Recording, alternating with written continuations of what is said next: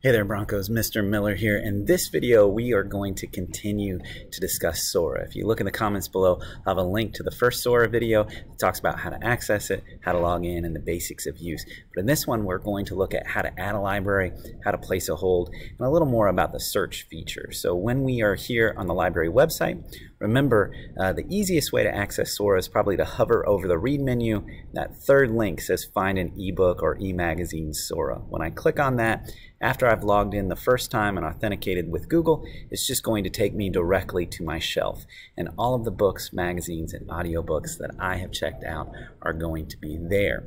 As well as your holds, you can create lists and see a history if you want to of the books you have checked out. Now, let's say I want a book. We're going to go down here to Explore and I can browse um, by what's going on and what's popular in different shelves.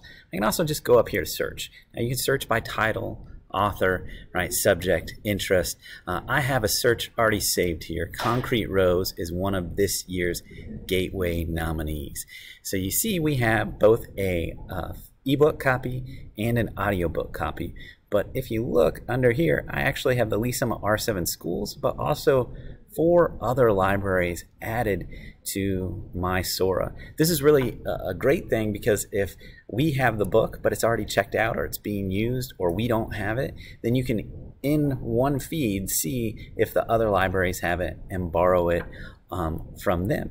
Also, if the book's already uh, been borrowed, like this one has, I can place a hold. Um, and the cool thing about that is if I add other libraries, then it's going to place a hold, uh, oftentimes in each library, and just give me whichever copy shows up first, or will show me where it's located and estimate the wait time. So that's how we search, uh, place holds, but how do we actually add the other libraries? So if I look up here, there's what we call a hamburger menu or more menu up here at the top. And I see different options, including download options and setting options and hold options. But up here, it says all of my libraries. And here I have an add library button. I can hit add library. I can search my town or zip code. So 64086 is the school zip code. And notice I have not only the school district, um, but Mid-Continent Public Libraries.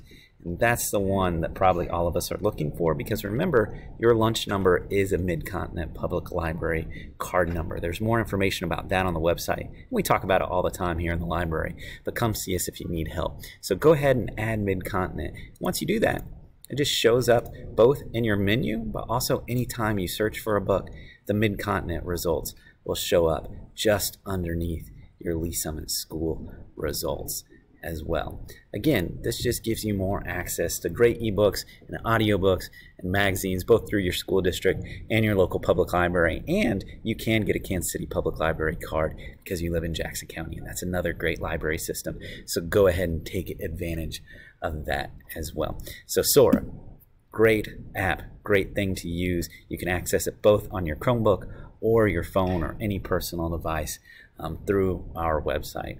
So check out those books and all the other offerings as well.